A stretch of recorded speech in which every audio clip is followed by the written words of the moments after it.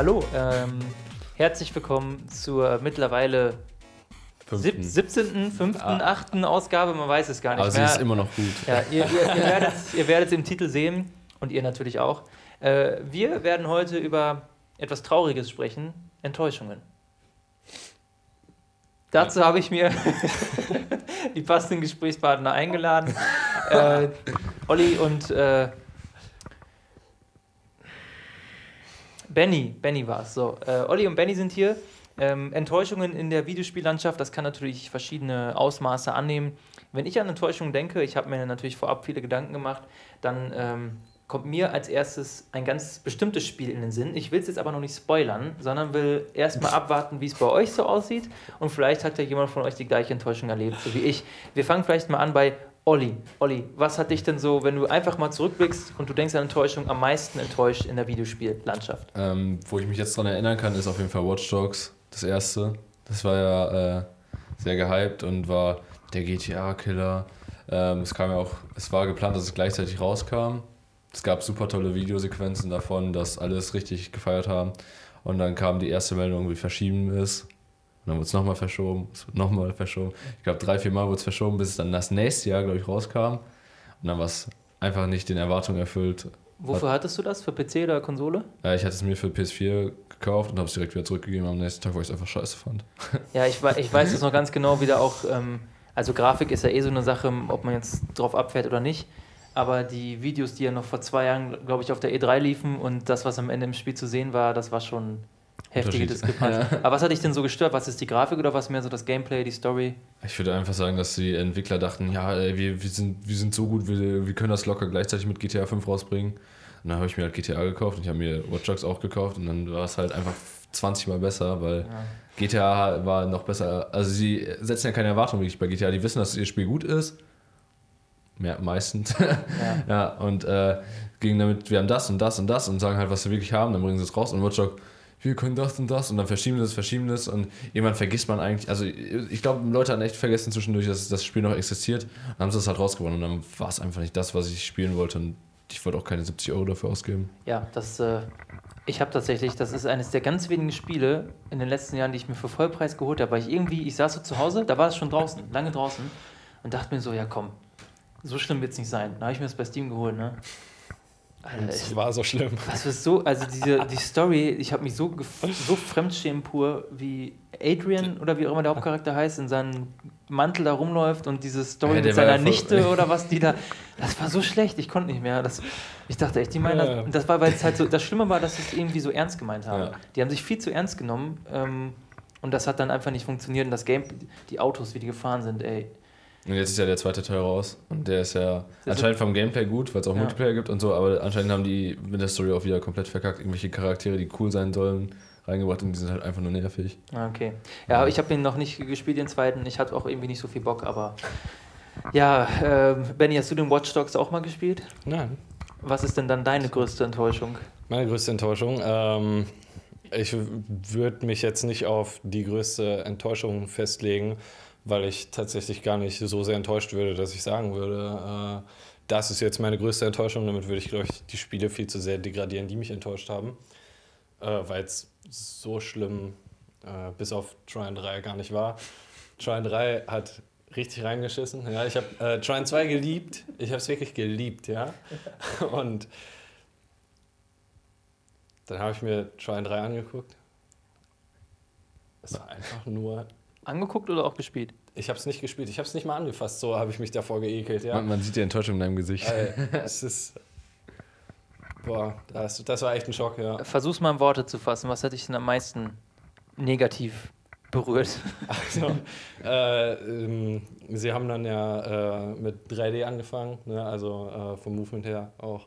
Und äh, es war einfach, du hast ihm einfach direkt angesehen, wie scheiße das umgesetzt war. Das war einfach nur noch Wein, Wein, den ganzen Abend lang Wein. Ja. Weil, weil ich halt, ich habe Trine 2 erst gespielt, als Trine 3 schon draußen war. Und dann war ich halt mit Trine 2 schon fertig und dachte halt so, na, boah, geil, jetzt äh, direkt erstmal Trine 3 durchballern. Hab mir ein bisschen was angeguckt an Gameplay und es war es war richtig kotzig. Ja, es war nicht schön. Stichwort Weinen, dann, dann will ich jetzt kurz mit euch teilen, wo ich eigentlich fast geheult habe.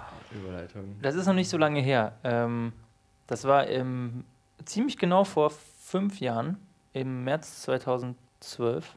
Nein, Quatsch, das war im Sommer 2012. Ein- Oder mehr, egal. Es kam auf jeden Fall Mass Effect 3 auf den Markt. Und ähm, ich habe tatsächlich die ersten beiden Teile. Ich bin sonst, also ich, ähm, ich bin sonst einer, der zockt ein Spiel einmal durch und ich habe meistens nie die Motivation, das normal zu spielen. Also selbst wenn es äh, selbst wenn es ein RPG ist mit Wiederspielwert und sowas, normalerweise mache ich das irgendwie nicht. Also es sei denn Half-Life 2, das muss ich natürlich alle paar Jahre mal wieder durchspielen. Bis der dritte Teil kommt, muss man wieder äh, voll auf der Höhe sein. Und der wird ja kommen, wie wir alle wissen. Und dann habe ich Mass Effect 3 geholt. Ähm, äh, die erste Enttäuschung war erstmal, ich habe mir Collector's Edition natürlich geholt, weil das war eine Zeit, da habe ich Mass Effect mal einfach so das Sp- Spiel überhaupt. Und dann ähm, äh, hatte ich aber, als ich das bestellt habe, habe ich noch woanders gewohnt und habe vergessen, meine Adresse zu ändern. Dann wurde das wieder zurückgeschickt, dann musste ich also erstmal so drei, vier Tage länger warten. Das war schon mal eine mega Enttäuschung. Dann habe ich angefangen, das Spiel zu spielen und es war äh, insgesamt eigentlich ganz okay. Also es äh, hat Spaß gemacht und viele Handlungsstränge wurden ganz cool aufgelöst, einige wurden mega enttäuschend aufgelöst. Bis dann da halt das große Ende kam. Ich weiß nicht, ob ihr beide die Spielereihe jemals gespielt habt oder Selbst gespielt nicht, nee, aber ich habe äh, lots of Videos. Gameplay Ja. und Äh, Videos gesehen, ja. Auf jeden Fall hat sich dann ähm, das Ende hin. Ich hatte vorher, ich war im BioWare-Forum unterwegs und habe da schon drüber gelesen, wie alle so meinen, das Ende, das darf nicht wahr sein und so. Und ich dachte mir so, das kann, nein, das so es nicht sein, die übertreiben. Und dann, die letzte, man kann diese letzte Stunde, wenn man das zum ersten Mal gespielt hat und nicht weiß, was passiert, man kann das gar nicht mehr beschreiben, diese Gefühle, weil man, ihr müsst dazu wissen, dass viele Spieler so wie ich, wir haben wirklich hunderte Stunden in dieses Spiel investiert und wir haben die ersten beiden, ich habe ja Spielstände für alle möglichen Szenarien vorbereitet. Ne? Ich hatte einen Renegade äh, Shepard, ich hatte äh, mal alle getötet, mal nicht. Ich hatte echt alles mit zurechtgelegt, alle Spielstände und wollte es ja auch ein paar Mal durchspielen, die ganzen versprochenen, es war ja wirklich versprochen, dass es viele verschiedene Enden gibt, dass es nicht wie bei Deus Ex A, B, C gibt. Und dann kommt man dahin, dann läuft da dieser Junge rum und dann ist das ein Reaper und das ist, es macht inhaltlich sowieso keinen Sinn. Ich weiß, viele behaupten, mit den Endings, die danach geliefert wurden, wird es Sinn ergeben. In meinen Augen nein. Es ist einfach immer noch totaler Bullshit. Und unabhängig davon, dass die Story bullshittig aufgelöst wurde, hast du dann als Shepard die Möglichkeit zwischen Rot, Grün und Blau. Du gehst also in einen Lichtstrahl, du stehst wirklich vor so einem Lichtstrahl in so einem blöden Raumschiff und Eins, kannst, zwei oder ja, drei. und kannst in einen fucking Lichtstrahl reingehen und das Ende ist dann so eine fucking Slideshow in verschiedenen, in diesen drei Farben, die dann dazu führen, dass deine Crew uncharakteristischerweise wegfliegt, was auch nochmal erklärt wurde, dass es nicht anders ging. Die Notlanden, also alle Enden waren einfach scheiße und alles, was du gemacht hast, alles war, egal welches Ende du gewählt hast, im Prinzip vollkommen irrelevant. Und das war einfach zu enttäuschend. Also man kann ja, vielleicht, sie wollten das ja, die haben sich ja eingeschlossen ähm, und haben sich ja das Ende ausgedacht zu zweit, so nach Motto. Und vielleicht wollten die was tief Philosophisches bringen und Entscheidungen, aber die bauen so ein ganzes, ga- ganze scheiß Trilogie auf um Choices und Consequences. Das ist so das Merkmal, dieses geile Universum. Und die Enden reflektieren das null. Und danach waren wirklich, die Spieler waren so enttäuscht. Also da waren viele echt körperlich angeschlagen deswegen, weil man halt so, das wurde ja auch dann nochmal, da waren so, da haben sich Ärzte gemeldet, haben das Phänomen so erklärt, wie das sein kann, dass man wegen sowas sich so richtig schlecht fühlt. Und ähm, da haben die auch irgendwie richtig viel Kohle gesammelt, um das für die Krebshilfe zu spenden und so. Das war auf jeden Fall so ein riesiger Aufmarsch oder Aufwand, der dahinter steckte und letzten Endes, ähm, ja, ich habe auch, ich hab auch die DLCs, die danach kamen. Ich habe nur diese Ending-Sachen, aber ich habe die DLCs nicht mehr gekauft. Ich habe auch Andromeda mir nicht geholt. Ich werde es mir auch irgendwie mal auf den Grabbeltisch holen, weil ich einfach, ich liebe dieses Universum, ne? Aber das hat mich echt, Nie wieder. das hat mich einfach so abgeschreckt. Also ich hab, war da echt so enttäuscht. Ich habe das Spiel auch nicht mal durchgespielt. Das ist, ich, kann, ich weiß nicht, ob ich das jetzt gut rüberbringen konnte, aber es war auf jeden Fall so, das hat mich richtig in den Grundzügen erschüttert. Das war so eine Enttäuschung nach allem, was man da so rein investiert hat und diesen, wie die diesen Charakter Shepard dann behandelt haben. Ja, danke fürs Zuhören. Das war. ja, ähm, habt ihr denn vielleicht noch, äh, wenn wir mal ein bisschen weg von der Software rücken, wir haben jetzt ja hier keine enttäuschenden Spiele liegen, aber wir haben ja auch Hardware mitliegen. Gibt es denn für, für euch zum Beispiel auch irgendwelche ja, Konsolen, vielleicht auch PC-Bestandteile, Gimmicks oder sowas, die ihr euch mit hohen Erwartungen mal geholt habt oder von denen ihr gehört habt und euch dann dachtet, was ist das denn für eine, für eine Scheiße? Ähm, ja, mir fällt direkt ein, der neue 3DS irgendwas. Da sind Der bestimmt auch, auch irgendwelche Buchstaben wieder hinter. Oder der, meinst du den neuen 2DS, der Nee, da den 3DS, 3 okay. Nee, diesen 3DS mit dieser 3D-Funktion und Ja. so. Und ja. Ich habe mir vorgenommen, ich war, äh, der ist zwei Wochen vor meinem Urlaub rausgekommen. Ich kaufe mir den jetzt, hole mir da zwei, drei Spiele für, fahre in Urlaub, zock da alles einmal durch. Mega geil. Punkt Ende. Ich habe es für den Originalpreis bei, bin bei Saturn oder Mediamarkt, sind beides gute Läden. bin ich reingelaufen. Sind ja beide, gehören beide der gleichen Genau, Kette an. genau, Ja. gehören beide der Kette an. Ähm, bin ich reingelaufen, habe es mir am ersten Tag gekauft, mit Hülle, mit was auch immer, alles was dabei war. So ein Pack für 300 Euro, 350, was weiß ich. Starte das, starte das erste Spiel, das erste Spiel, Super Mario Bros. für den 3DS und äh, denke mir, was ist das? Was, was haben die da getan, ja? Irgend so ein Story-Modus, wo du so nur Fäde, wo dann immer schwerer stellen, war auch nicht geil. Irgend so ein Adventure-Modus, wo du durchläufst und irgendwelche Sachen einsammelst, habe ich auch nicht verstanden. War kacke. Das zweite Spiel, was ich mir geholt habe, war äh, Zelda. War mein erstes Zelda, was ich gekauft habe. Ich habe es nicht verstanden, ich bin wahrscheinlich auch zu blöd. Ich habe mich da auch nicht richtig eingesetzt. War halt im Urlaub bei der Autofahrt, ne? Boah, zum Glück ist Max nicht hier. Deswegen haben wir den heute nicht mitgenommen. ja, war Zelda, ich habe es nicht verstanden. Das war das erste Zelda-Spiel. Ich mag Zelda einfach nicht.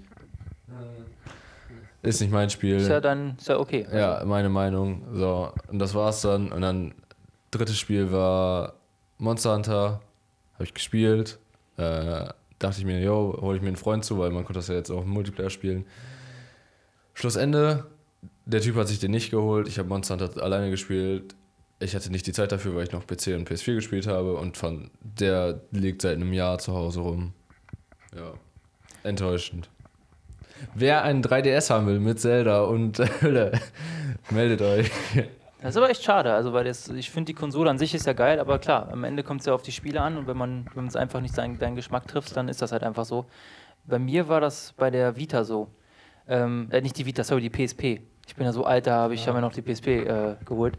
Ähm, die habe ich mir auch erst später geholt, in so einem geilen Spider-Man Special Rot, also, also Münster Medienrot sozusagen. ähm, und ich habe bis heute genau zwei Spiele dafür mir gekauft. Das erste war, das war dabei, das war so ein Warhammer 40k ähm, Tactical Strategy, bla bla. Ich kann mich, das war komisch. Also es war im Warhammer-Universum, ja, es war im Warhammer-Universum angelegt, du hast halt so ein Team und konntest, musstest, das war eigentlich gar nicht so schlecht gemacht, aber das hatte irgendwie nicht so den Tiefgang, den ich mir erhofft habe. Und das zweite war, glaube ich, irgendein Tales-of-Spiel. Also diese Namco Bandai RPG-Reihe, ähm, das habe ich auch gar nicht gespielt, glaube ich. Warum auch immer. Aber am Ende, ich habe die, hab die PSP trotzdem ohne Ende benutzt und zwar als Multimedia-Tool. Das war halt, das, ich habe mir den geholt noch bevor so die riesengroße Smartphone-Phase kam. Und da war das halt was krasses. Du hast halt dieses coole Gerät und die war ja wertig. Also die Ja. hatte einen geilen Bildschirm und so, auch wenn er gespiegelt war leider. Aber da konntest du halt die Videos mitnehmen, die darauf abspielen. Ich weiß noch, wie ich meine Warcraft 3, äh, ähm, ja, wie hat man es nochmal genannt? Skill-Videos, äh, die ich da gemacht habe, damals zusammengeschnitten habe. Natürlich nicht in meinen Skills, da gab es nicht so viele, aber fremde Leute Skills. Und äh, das war auch eine Enttäuschung eigentlich, ja. Ähm, und habe mir das dann so zusammengeballert. Dafür war es gut, aber so spieltechnisch war das Medium, das war so scheiße. Ich weiß nicht, ob das noch jemand weiß, das waren diese Mini-UMD-Discs Ja, ja, Ja, ja, Ja, ja. ja. in, dieser, in der Plastikhülle und dann, also, das hat sich schon so scheiße angefühlt. Und dann lag das da im Laufwerk von einem. Komisch, dass es das nicht mehr gibt. Ja, dass, Sich, dass sich das nicht durchgesetzt hat, verstehe ich überhaupt nicht. Nee. Benny, hast du denn auch irgendwas, was dich so an Hardware äh, enttäuscht hat oder Äh, bist du immer ich- gut gefahren? Ich hätte jetzt am ehesten auch noch die PSP genannt, äh, weil ich das auch einfach, ich weiß nicht, ähm, das ist eine äh, Konsole, also ich habe mir nie wirklich was gekauft, wo ich dann echt gemerkt habe, so, nee, das ist totaler Bullshit, weil ich mir aber auch nicht einfach wahllos das, was ich vielleicht haben wollte, kaufen konnte. Tja, sad, aber ist so. Ja, ist ja, äh, ist ja auch eigentlich gut so, dass du dich dann, ähm, dass du nicht in Versuchung geraten konntest, Quatsch zu, Ja. äh, zu kaufen. Ja. Ja, äh, ne, aber die PSP war ich auch erst voll angetan von und habe die dann bei einem Kollegen mal in der Hand gehabt und auch ab und zu mal gespielt und dann so, je mehr ich sie benutzt habe, desto beschissener fand ich sie. Das war einfach irgendwie, ja. ich und PSP war dann so. Auf, äh, klar, ich meine, die meisten, die sich geholt haben, haben es ja auch dann am Ende, äh, die war ja so leicht ähm, mit ähm, irgendwo anders erworbener Software zu befüllen. Äh, das war ja bei Nintendo-Konsolen immer ein bisschen mit mehr Aufwand verbunden, weil die PSP ja auch SD-Karten-Slot hatte, glaube ich, und dann war's ja, war ja immer die Möglichkeit Ja. einfacher gegeben. Ähm, Gab es denn bei euch mal äh, bei Enttäuschungen, wenn ich nochmal so drüber nachdenke, gibt es für mich auch noch so diesen Online-Gaming-Aspekt oder mit anderen oder gegen andere zocken? Gab es für euch denn so Erlebnisse, wo ihr vielleicht äh, irgendwie von euch selbst enttäuscht wart, weil ihr versagt habt und dann sauer wart oder so? Oder habt ihr immer eure Freundin FIFA oder PES oder was auch immer ihr so spielt abgezogen? Kannst du was sagen? Sonst überlege ich. Ähm, ja, ich kann was sagen. Ich kann sagen, dass das bei mir nie wirklich ein Problem war, weil äh, in FIFA spiele ich eigentlich nur gegen Noobs. Ich habe keine Kollegen, die wirklich gut FIFA spielen. ähm, Wir haben noch nie gegeneinander gespielt, ne? Hm? Wir haben noch nie gegeneinander gespielt. ja, das ist richtig. Ich mach dich Wird auch fertig. nicht vorkommen. Wie gesagt, ich spiele nur gegen Noobs. Damit du gewinnst. Ja, genau. Sehr gut. Das ist, ja, Ja, ich, äh, ist ein ja. bisschen, um mein Selbstbewusstsein anzukurbeln, ne? Mhm. Ja. Nee, äh, aber ansonsten, ja, ich zock LOL, ne? Da ist immer so, ne? Verlierst du auch mal so. Also nicht, dass ich jetzt irgendwie über die Maßen verlieren würde. Und wenn dann, wenn dann sind ja auch die, die Teammates eigentlich immer schuld, ne? Fieder, ja, genau, Noobs. wollte ich gerade sagen. Ja, da spiele ich nur mit Noobs, ja. Und äh, Deswegen verlierst du. Gegen Gosus. ja, Ja. genau. Ja. Nee, Nein. nein, Äh. also ich äh, bin dann auch nicht wirklich enttäuscht, muss man halt mit leben, so, ne? Weil Leute, ich sag mal, 50-50 wird bei jedem so in etwa das sein, was drin ist, ne? Ist halt so. Ja, es muss ja die Durch- Durchschnittsspieler geben, sonst gäbe es ja keine guten, keine schlechten, ja. Das, äh, jetzt steigen wir noch in die Tiefen der Mathematik ab. Das ist äh, Wahnsinn. Ja, mir, mir ist gerade eingefallen, äh, ich, ich habe immer über die Leute gelacht, die Sachen kaputt gemacht haben. Also irgendwie Ja. Controller gegen die Wand geworfen, was ist los mit denen, so, wie kann man das machen? Ähm, ja, und dann kam ein spezieller Moment, wo ich äh, gespielt habe und ich glaube, es war Counter-Strike und es stand wahrscheinlich irgendwie 14, 14 oder so, wichtiger Moment. Und was mache ich? ich? Ich spiele, wir verlieren wahrscheinlich wegen einem anderen, also es kann nur wegen einem anderen gewesen sein, ich weiß es nicht. Ich nehme meinen Kopfhörer, reiße ihn aus der Buchse raus und werfe ihn gegen die Wand, er zerspringt und ich denke mir so, jetzt bist du auch so einer und äh, da war ich echt enttäuscht von mir. Was, ne, habt ihr euch irgendwie One-on-One Atze Holztor, Deagle Only Nee, nee, getroffen? und, äh, Teamspeak und dann äh, Ranked und, und ah ja, okay, ja. äh, Gold AK, irgendwas war es. Also das war schon ein oberer Durchschnitt. Ja, wo du das jetzt angesprochen hast, ich, hab, ich bin da immer noch von mir selbst enttäuscht. Bei mir war das schon früher der Fall. Ich, war, ich weiß nicht, wie alt ich war, neun oder zehn oder elf. Ähm, ich hatte immer noch meinen Original Gameboy, äh, den ich halt mit fünf oder sechs zum Geburtstag bekommen habe. Also so wirklich von 92 oder sowas. Und ähm, habe Tetris, Tetris gespielt. Und ich bin, ich bin immer wütender geworden. Es hat einfach nicht so hingehauen. Ne? Und dann habe ich mit dem Ellbogen so voll auf, die, auf das Display ge gehauen. Und blöderweise hat das geklappt. Und dann war der halt innen drin, ist der gesprungen. Also da ist dann so die Tinte quasi dahinter dem Dings verlaufen. Ähm, und witzigerweise, der funktioniert noch. Also man kann ihn heute noch hochfahren und der würde astrein funktionieren, aber man erkennt halt nichts auf Display. Nur so ein Plakat, das ist echt traurig, weil der läuft noch. Also der Game Boy war ja auch ein Gerät für die Ewigkeit. Der wird wahrscheinlich uns alle überleben. Aber ich habe ihn tatsächlich, also ich, auch noch heute gucke ich auf das Gerät, der liegt noch bei mir rum und ich denke mir so, Alter, wie dumm. So, so richtig dämlich war das. Und dann habe ich mir, ähm, dann habe ich noch ein bisschen gespart und habe mir dann den Game Boy Pocket geholt. Den gab es dann damals in der transparenten Variante. Das war damals, äh, der wurde krass beworben, das weiß ich noch. Da wart ihr noch nicht geboren, doch, da wart ihr schon geboren, aber da wurde der beworben mit, äh, man kann in die Tasche stecken und der ist halt. Äh, Man muss nicht einen Aktenkoffer ja, mitnehmen. und der hatte auch nicht diesen grünliche, der hatte die, der war wirklich schwarz-weiß, ne? Ja. Der hatte nicht mal die grünliche Verfärbung vom Gameboy und so. Das war ein geiles Gerät auch. Der, hat mich auch noch. Es läuft noch alles erst rein. Wo du Gameboy sagst, ich hatte früher ähm, Smaragd Edition, war das glaube ich, wo du dir auf einmal alle drei hier mit Rayquaza und so fangen konntest. Super geiles Spiel. Mein Freund hatte das auch für den Gameboy. Ich war bei meinem Freund, wir haben äh, gespielt und äh, irgendwie kam es dazu, dass die Schwester von ihm Malzbier umgekippt hat und das in das in die Smaragd Edition reinlief. Schlussendlich es war kaputt. Ich habe von der Versicherung das Geld wieder bekommen. Äh, 40 Euro. Und was mache ich mit dem Geld? Warte, warte, warte mal. Wa- nein, was mache ich mit dem du, Geld? Du, du hast, du hast die, äh, die Haftpflicht von den Eltern der Schwester mussten das dann zahlen. Richtig. What? Ja, das waren 40 Euro, weil früher war das viel Geld. Das ist ja geil. Ja. So offiziell bei Versicherung ist ja, Ja, lustig. und dann äh, war ich im Urlaub in Berlin, glaube ich, und ich dachte mir, ich habe jetzt nichts zu spielen, da hole ich mir doch mal was. Gucke nach, was kann ich denn für 40 Euro kaufen? Oh, das sind ja drei Spiele in einem. Oh, das ist ja ein super Geschäft. Kaufe ich mir das Ding. Was ist es? Irgendwo, du konntest Darts werfen, du konntest bowlen und ich weiß nicht, noch irgendeinen Kneipensport machen. Und es war richtig scheiße. Billard bestimmt noch. Bestimmt. Es Ja. war richtig kacke. Es war, ich habe zweimal Dart geworfen, das war auch das einzige Spiel, was da irgendwie funktioniert hat. Es war enttäuschend, dass ich wirklich, also es war wirklich der Tausch Smaragd gegen dieses dumme Drecksspiel. Ja, ich wäre gerne Sachbearbeiter gewesen in der Versicherung. Der Pokémon Smaragd, Verkaufswert Malzbier. 40 Euro. Ja, manchmal kann man das ja noch retten, wenn man irgendwie die Kontakte wieder säubert und trocknet und bla, aber gut, vielleicht war dann alles, war Hopfen und Malz verloren, ne? Ja.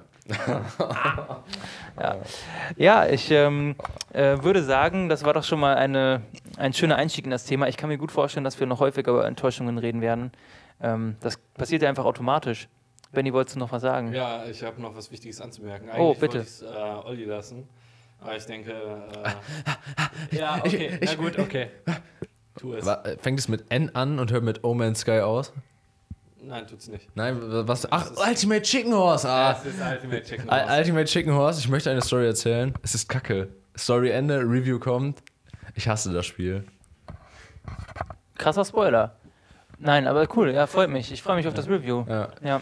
Ihr könnt euch auch freuen, das, das wird laut. Ja, ja aber Norman Sky haben wir jetzt nicht gesprochen, aber ich. Warst du, hast du es dir geholt? Nein. Und du ja auch nicht. Nein. Also war eh keiner von uns direkt betroffen. Von daher ähm, überlassen wir das Reden über Norman Sky vielleicht dann dem Experten Alexander von Luck, der. Äh, ich erinnere mich noch gut daran, wie er hier im Bennohaus saß und die Trailer und die Leute um sich versammelt haben. Guckt euch das an, das ist der dritte Trailer. Da geht es um Handeln. Und äh, nein, es tut mir auch leid. Ich hätte mich echt gefreut, wenn es was Gutes geworden wäre. Aber auf der anderen Seite hat mir das Spiel so, obwohl ich es nicht gekauft habe, mehr Unterhaltung geboten als viele andere moderne Spiele. Ähm, der Ja. Meltdown, der im Subreddit da über Monate lang abgelaufen ist, das war einfach herrlich. Wir können ja vergleichen, was schlechter No Man's Sky oder Ultimate Chicken Horse. Ich werde gewinnen. Okay, ja, ähm, wir danken euch mal wieder fürs Zusehen und äh, freuen uns auf das nächste Mal. Dann ähm, sitzen andere Leute hier oder die gleichen. Ich weiß es jetzt noch nicht. Wir treffen uns ja einmal in der Woche und deswegen äh, kann man das nicht so gut vorhersagen. Bis dann, alles Gute. Hey, hey, hey.